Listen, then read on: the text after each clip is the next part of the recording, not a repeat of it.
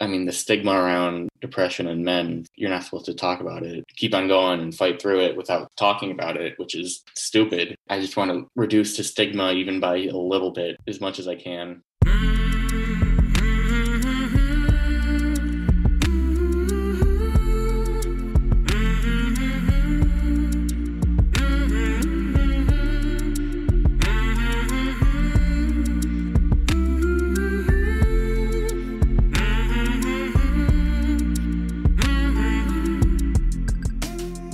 Hey there, my name is Sean, and this is Suicide Noted. On this podcast, I talk with suicide attempt survivors so that we can hear their stories.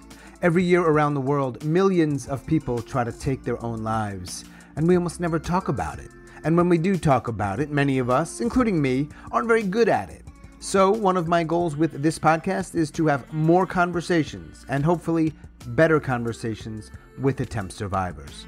I want to thank all of my guests, all of the attempt survivors who have joined me since July of 2020. We are now on episode number 89. I am so very grateful that you found the podcast, that you trusted me, and you joined me to share so openly and so courageously. Thank you. And to all of our listeners, a huge thanks. If you are a suicide attempt survivor and you'd like to talk, please reach out. Hello at suicidenoted.com or on Facebook or Twitter at Suicide Noted. And look, we are talking about suicide, so this may not be a good fit for everybody. Please take that into account before you listen. But I do hope you listen because there is so much to learn. If you'd like to help us out, well, keep doing what you're doing. Listen to the podcast, share it with people who may need to hear it on social media or elsewhere. And if you listen on Apple, rating and reviewing also helps a lot. It helps people find it. Thanks for that. Thanks very much. Today I am talking with Wilson. Wilson lives in Michigan and he is a suicide attempt survivor. Hi Wilson. How you doing? Good right now. Yeah. Thanks for reaching out. Yeah, no problem. Appreciate it. Wilson, where are you? I'm from Ann Arbor, Michigan. How did you first find it? I'm wondering. Did you put suicide into the search of, of Apple or Spotify? I can't remember what day I emailed you, but that night I was in a dark place and I, I don't know, for some reason I just look at videos that, that try to talk about suicide and stuff like that. And like I'm not alone and stuff like that. And I just searched suicide in, in Spotify and I saw your podcast and I just the way you just are just silent and you just listen is just really intriguing and just something that I would like to do. I mean, I don't know if I want to make a podcast, but I just want to talk to people and, and just listen and hear their story and hear what they have to say. Do you find that people in your life, now that could be family, friends, or even like teacher or whoever, suck at listening? It's a little bit of a loaded question. Oh, yeah. I mean, people will ask, like, how are you doing? But they only want you're doing good or they don't want the real answer. Do you have any idea why people seem, most of them, most of the time, aren't so good at that? Like you said, how are you? And they kind of only want to hear, yeah, I'm fine. Like, why? I think it has to do with they sometimes some of them just never had to deal with mental illness and like uh, they haven't felt the lows of people that have depression and bipolar or whatever. They haven't felt the lows of where you go. Yeah and they, they don't know. I mean, they, they, I mean, everybody wants to be happy. Everybody wants to feel happy. And you don't want, oh, I talked to this guy and I said, how are you? And he said, oh, I'm doing horrible. I wanted to, yeah, they, you don't, you don't want to hear that. I mean, you want to say, oh, I'm doing good. I'm doing this and that. Don't disagree with you, but let me ask you this though. You said that sometimes you watch videos or a podcast to, to feel, I think you used the word less alone. Yeah. So it sounds like you're not one of those people, not to suggest that all day, every day, you want to hear everybody's problems. Yeah but it does sound like you and i can speak for me sometimes i actually do want to hear i know i'm not doing doing so well so i do want to hear people's pro like i want to talk with people and hear their story. It's very interesting and get another perspective on life. I've done this more in the last maybe few months. I'm more and more curious. You know i'm sure there are people that hear don't reach out. That's just completely fine but you did and uh what compelled you to actually uh to email? I just wanted to i guess tell my story and and people who are listening or never dealt with it or have dealt with it just depression is real it's okay to feel sad it's okay it's going to be okay you need to get help it's okay it's okay to feel these feelings but mm. we hmm. all need help I've been my whole life taking different kinds of meds, finding the right cocktail of meds, Mm-hmm. doing ECT. I had to do ECT my junior year Mm-hmm. when I was was the second time I was hospitalized. It, it, I mean, it was just struggle. I mean, doing ECT. I think the first month was like three times a week, having to switch arms for IVs every time I go in. I think the worst part of it was it wasn't even me getting ECT. It was seeing my uh, my mom take me almost every day and just see her son get getting her brain getting her son's brain shocked. Mm. I don't know. It just hurts me having to see her son in so much agony every day, trying to lift him up, even though he's in a deep depression. And yeah, I mean, ECT. Honestly, if I if I didn't have it or any of the quote unquote hardcore treatments, I know for a fact I would have been would have been dead. Mm. Let's go back. You had said, "Yeah, I want to share my story," and so I always say to the guests, "Hey, what's the story and where does it start?" So I'll let you decide. Um, well, I guess when I started first started feeling not good was I guess third grade. I remember I I have a dyslexia and some learning disabilities too that adds on with the depression. As I uh, was in school in third grade, I just remember I being pulled out of class because the kids that have learning disabilities have to go to another room sometimes to like get one on one um, help, which is good, but like it makes some kids some kids just feel horrible. Like, why am I getting pulled out of class? Like, why can't I be with my friends? Mm-hmm. I remember reading some of my papers saying when I was uh, little, like I was a slow talker, like and not a slow talker, like uh, I didn't talk much. I wasn't really talking for how the age I was. I was Mhm. keeping quiet.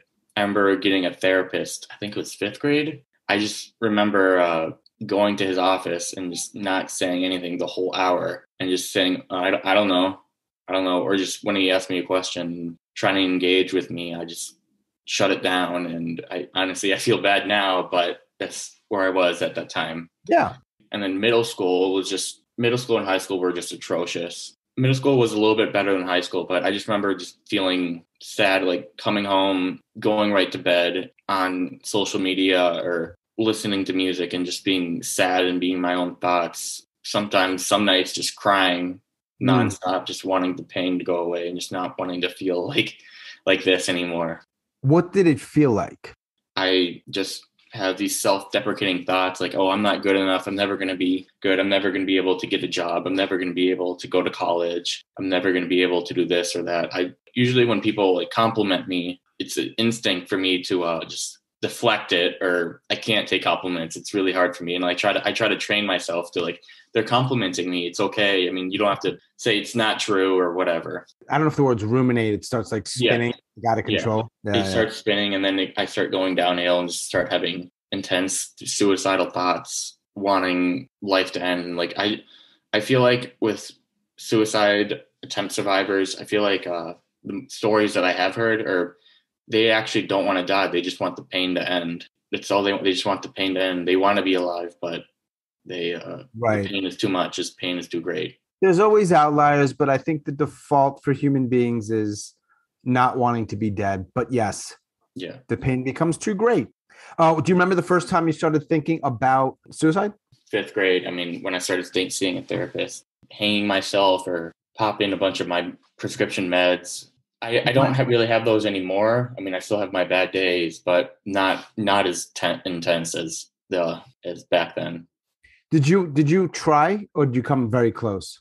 I became very very close twice. Can you talk what was the first one? Do you recall? Right before my second uh, hospitalization, um, I don't know if everybody was sleeping or everybody was out that night, but I remember just pacing around my room Mhm. thinking, am I going to kill myself tonight? Is this it? Am I going to leave a letter? What am I going to do? What if my parents find me? What are they going to think? I mean, they're not going to think good, but thinking about other people, what are they going to say? What's going to happen to them? I don't want anybody else to hurt themselves or feel sad because of me. And I guess I just tied the rope, had, it in my hands, looking at it, just bawling and crying. And I, I don't know, I just some something. I just put it down, and I guess my second attempt was I think after the hospital, my after my ECT, my third, my sorry, my second after my second hospitalization, my grandfather has a condo up at uh, Beaver Island on Lake Michigan, kind of secluded on the south part of the island where nobody really goes. It's very peaceful up there. One day, I just started decided to go in the woods by myself. I had I had no suicidal ideation then, and then I guess once I started acquainting myself where my surroundings are, I started having these deep, intense suicidal thoughts, Mm-hmm. And like it, it was really scary. And I, I I mean I didn't know what to do, and I just had these thoughts of you should kill yourself, you're not good enough, stuff like that. And I Mhm. guess I just after like five minutes of having those thoughts, I just ran out of the woods and went to my parents, and then nothing really came up. I don't even think they know that. Okay. What? And the first one was in your room. Is that where you are right now in your room? I'm in my uh in my brother's room. Just so I'm clear on the timeline. So you got. I mean, was it in your email that you wrote something about your freshman year playing football? My uh, freshman year football, I got bullied a lot on the team. Mm-hmm. That's why I don't really like the culture. It's kind of a bunch of guys being rude to each other, and so they were just saying things, horrible things about not even about me, about my sister. That Mm-hmm. I mean, my sister when I was in freshman, my sister was a senior. They were saying things like, "Oh, your sister's a hoe. Your sister's a slut. I'm gonna go fuck her." Wow. and shit and stuff like that. Like I don't have any bad will towards uh, those guys anymore. I mean, I just feel pity for them because they have to put other people down to bring themselves up. Mm-hmm. It's it's sad, honestly, at this point. I mean, I've grown so much. So that was your freshman year. When was the first time you had to, or, or you went into the hospital? The first time was junior year. I went to uh, a not so good place in Michigan. I mean, I've never been to jail or anything, but it felt like that. You had time to take a shower. You had a time. You had to line up and take a shower. They gave you food when they gave you food. You couldn't really ask for food. Unfucking believable. Yeah, it's it's yeah. It felt like a prison. I mean, I've never been to one. I'm not claiming. It, yeah, but Yeah, I get it. Maybe they should actually call themselves a not so good place. Yeah. That's the name of the place. I um then I guess my second hospital stay was that same year. It was at University of Michigan Hospital. They have a great program there. That's where I got my mm-hmm. ECT. But I remember just hearing a bunch of all these stories about all these other psych wards. Sometimes they keep you there to get money out of you. Like oh yeah, yeah, like it's like for profit yeah. and it's really crazy. And then sometimes they told me some stories of like when people started acting up and wouldn't listen or st- started causing problems. They just put they give you drugs and put you down to sleep. Don't try to talk to you. They just put you to sleep, Hmm. which is really yeah. They just put needle in your butt and put you down to sleep. So let me go back here. So third grade is your earliest memories of stuff Yeah, starting to not be great. Fifth grade, start to think about suicide in some form. yeah, Uh, ninth grade, you, you play football and those and there's a bunch of dicks. My word, Yeah. not yours. Eleventh grade, you go to the hospital for the first time, and that was not very good. Like No. a jail. Was that something you went to voluntarily or involuntarily? Uh, I mean, it was voluntary. My my parents thought it would be a good idea because I was very suicidal. I didn't disagree with them. I thought I needed to be in there, but I, I mean, nobody wants to go to the psych ward. Nobody wants to do that, but it's something you just have to do sometimes. And help me help me remember. What point did you first almost try with the rope in your room? How old were you then? I was in eleventh grade. I was a junior. Around the same time. Yeah, I think that was after my second, my first hospital stay, Got it. the first Sec- attempt, and then after it uh, was when I went up north, and that was my, sec- my I guess second. Yeah, Beaver Island. yeah, Beaver Island. and then around the same time junior year hospital 2 locally better program Yeah. and you had ect done several times Uh, yeah. I mean, it's a whole like process you have to do. They start leaning you off ECT every every time they get better and better. If you start feeling better and better, it took about a year for me for just ECT at least once a month or three times a week, just leaning me um slower and slower off until I until they thought it was I didn't need it anymore. I mean, ECT is not the end all be all. Like, uh, you also need to be in therapy, take your meds, and everything else. But it it helps a lot, and it's not like a cure. It's not a cure. It, it- no, it's not a cure. it helped you Yeah, it helped me a lot. Yeah. So ECT therapy and meds have been something that have, at a minimum, kept you alive, and maybe even more than that. Yes. Mm, And also friends and family people. I have a really good support system, right. which I'm grateful for, and th- they keep me going. Did you say a little earlier about if I hadn't had this, I don't remember what the this was, you would not be alive. Was that ECT or Yeah, ECT. Why did you say that? Why do you feel that way? It honestly changed my life. The people working in the ECT program, the nurses there, Mhm. were absolutely amazing.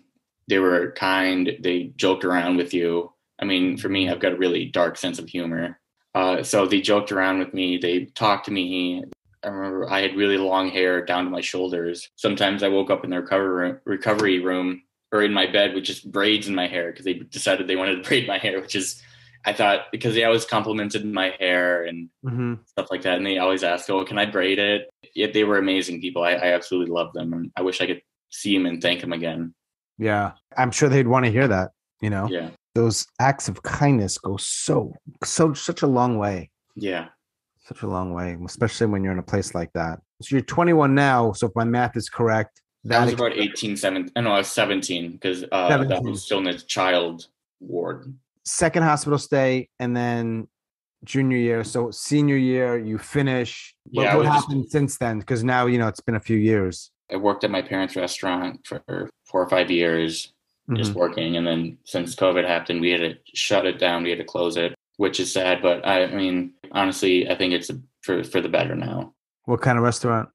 It was all farm to table, uh, locally sourced foods and that kind of stuff. Nice. Yeah. So how's COVID been or the lockdown? when the first lockdown started, I thought it was honestly great. Sometimes I can be very uh to myself and be antisocial, but once the weeks and months went on, I started getting more antsy and it started feeling more and more depressed and Mm-hmm. just wanting to be locked in my room and shut off from the world. It's been fucking hard, man. Yeah, it's been very hard. What do you do? You may not have an answer to this, but what, what do you do to feel either good or okay or at least not shitty, if anything? usually uh, whenever I play video games with my friends or go outside and play lacrosse. Right now, I'm I'm coaching my old high school team, which has been very help helpful to me. Getting out, seeing the guys play lacrosse. I uh, I love lacrosse. It Mhm. helped me a lot with going through my stuff. Just being with the guys, being with a group of people. Yeah. But- and those are guys like your age, or at least the high school are obviously younger. Yeah, Does this stuff ever come up? Because I know for almost any group of human beings, but especially maybe younger guys, athletes, you're not talking about this shit.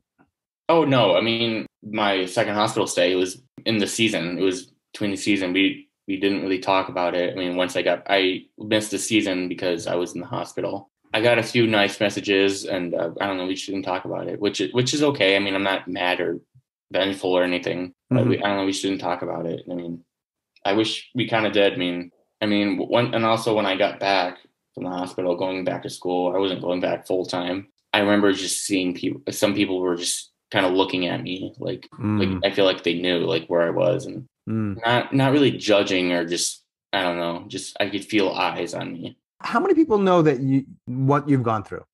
Uh, a lot of people. I mean, I, I'm not really, I'm not really not one to share about my story or my depression. I mean, at one point, I'm just like, I'm done with this. Fuck this. I'm, I'm gonna.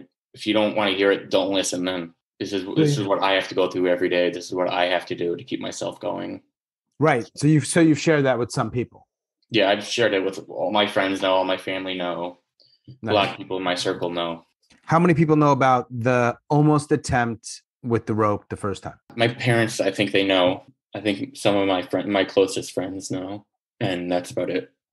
And Beaver Creek or Beaver Island? I don't know. why I'm calling it Creek. Beaver Island. I think I only told my aunt that my aunt also struggles with depression. A lot of people in my family, especially on my mom's side, struggle with depression. I think it Mm. was kind of passed down to me. Yeah, we struggle with depression. And uh, yeah, I, I don't know. One day I just felt really sad and she was asking what's wrong. And I, I, I told her she was very helpful and I, and I love her to death.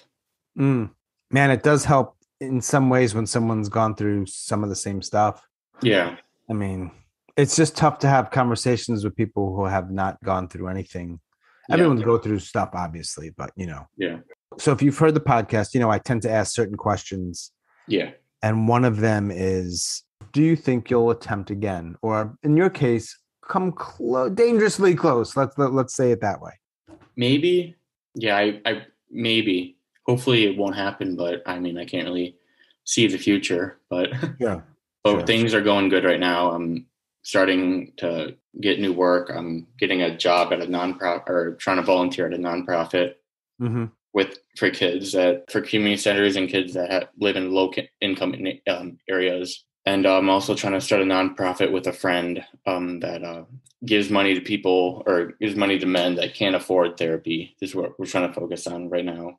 You're starting a nonprofit. That's a huge project, man. That's Yeah, amazing. it's, yeah, it's yeah. A bunch of my one of my family members is she has uh, started lots of nonprofits, so she's gonna help Right. them. Why did you choose that particular type of nonprofit to help men who don't have the money for therapy? because I know, uh, I mean, the stigma around depression in men's like you're not supposed to talk about it. Like you're Yeah. supposed to shut up and keep on going and fight through it without talking about it, which is stupid. Right. I just want to reduce the stigma even by a little bit, as much as I can. For you, man. That's amazing. That's amazing. It's amazing that we even need nonprofits like that, but we do. When I talk to people in the hospital, they're like, "I don't know how I'm going to pay for this." I'm like, "You shouldn't be worrying about that right now. You should be worrying about your mental health, not the bills you're going to pay after and stuff like that," which is really sad. Oh, for sure, man. It's it's it's beyond so bizarre. hmm Oh man. So it sounds like you got some family, friends, a support system. That's one of the things that helps, Yeah. which is cool. Do they know that you're talking to me? I told my mom and uh, my my close family, my I think my brother and sister know, and my and my mom and dad know. So they're supportive. Yeah, they're very supportive. I know my mom. She my mom has depression, and she's helped me a lot. She's told me stories of uh, her and her depression, and my she told me stories of her mom has depression too, and whole, told me stories about sometimes having to take care of her mom because she was too sad or depressed to be a mom or whatever. Mhm. And she also told me stories when I first started getting ECT. She told her mom that I'm getting ECT, and she was very scared because she had ECT before they put the, put you to sleep, Mm, and she was very scared. And she, I mean, she didn't she didn't really know what was going on in that field, and she was very scared. And I mean, I understandably, I mean, everybody in my family is very supportive, and I'm very grateful for that. yeah. Amazing. Yeah. So now when you get ECT, at least when you got it, you don't you're not awake for it. No, not, not anymore. They they put you to sleep. They give you the right amount of.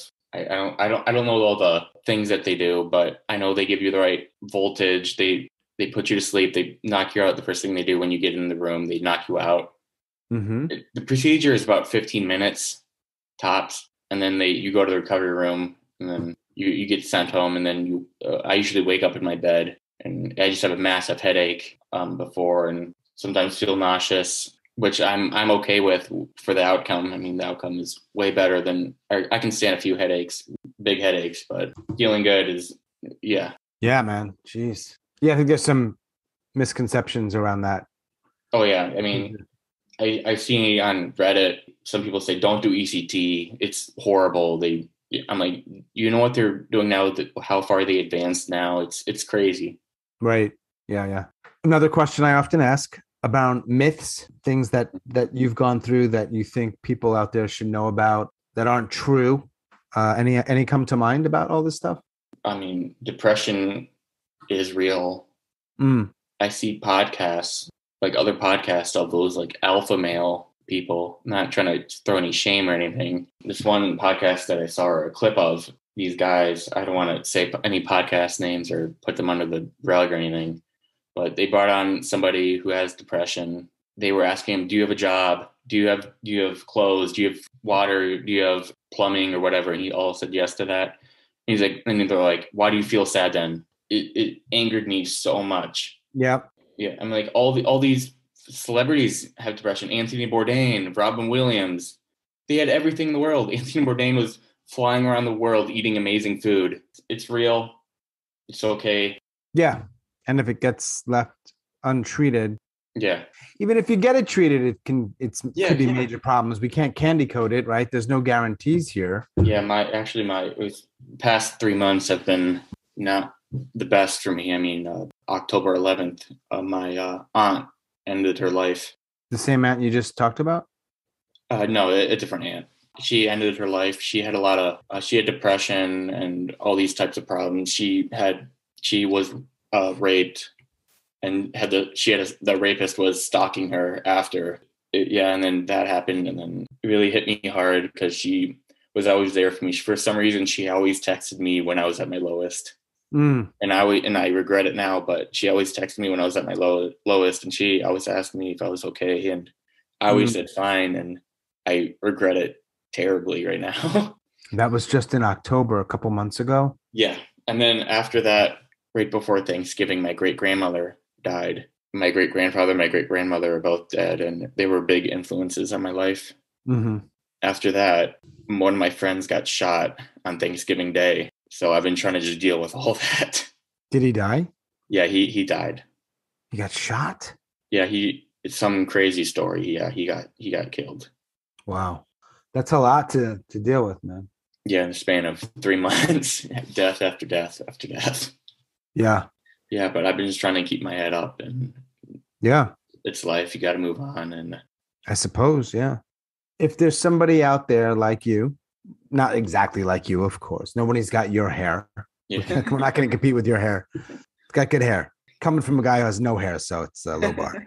I always I've, I I ask this question sometimes, and I know it's a really tricky one because you have no idea who's listening. I always think there's sort of three groups, so to speak. There's and they overlap. You know, people who have tried, people who are thinking about it, and then maybe people who are helping people out who are in that space. So without really knowing much about them beyond that, I mean, anything you would want them to know?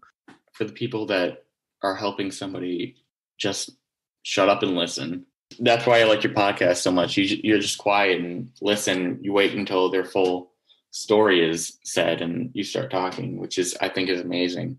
Yeah, you Mm. just need to listen, and you can have a little bit input and tell a little bit of your struggles here and there, but it's at that point it's about them and helping them and being for them. Yeah, I appreciate what you said about about me listening. Thank you. It's funny because sometimes I'm thinking to myself, Sean, shut up, man. You just keep talking. Yeah, I Uh, mean, I, I mean, I do that all the time. I I interject in, Mhm. in conversations, and I try to keep myself down. But then I feel like sometimes, am I talking enough? Am I talking too much? And I start having these problems with uh, my depression.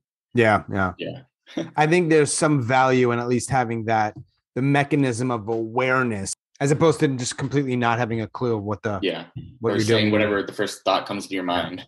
What else is there to the uh, Wilson story as we talk right here in late December 2021? I guess I'm just dealing with things and trying to get better and wanting to help other people. It's, I mean, it's, if, um, there's a great quote, um, Bo Burnham, give others what you cannot give yourself. And I really resonate with that quote. See, I know that you're not much. You're more of a lacrosse guy. Um, do you want to go on the record and say who will win the Michigan Georgia game? I mean, I hope Michigan wins. I don't know. Maybe, maybe they will, maybe they won't. Honestly, um, it's 50 50 for me at this point. If they do, man, Ann Arbor is going to go wild. Oh my God. Thanks again for talking, man. Do you have anything else uh, that you uh, come to mind? Anything else you want to to add? all, all I really want to say is just be kind to people. You don't know what they're going through. It's okay to feel sad. It's okay. Just talk to people. Talk to people that you know that will help you. Mm-hmm. And if if you don't think you have anybody, uh, just I don't know, just talk to somebody. Mm. Try to look for help. It's it's okay. You it will be good at the end. I always think I like to think that there's light at the end of the tunnel, even though you don't see it there's will always be light because at one point in my life I didn't see the light and now I it's it's dim. It's dim Mm. right now, but Mhm. I see it. Appreciate that, man. Appreciate your honesty and, and sharing. And uh, I'm sure there will be people who hear it and benefit from it. That's what it's all about, man for, for what it's worth, Happy New Year. Thank you. You too. All right, man. Wilson, have a good one, man. You too. Take care. Bye. Bye.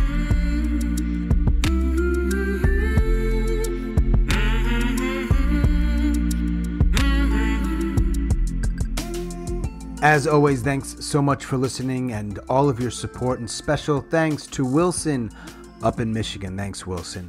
If you are a suicide attempt survivor and you'd like to talk, please reach out. Hello at suicidenoted.com or on Facebook or Twitter at Suicide Noted.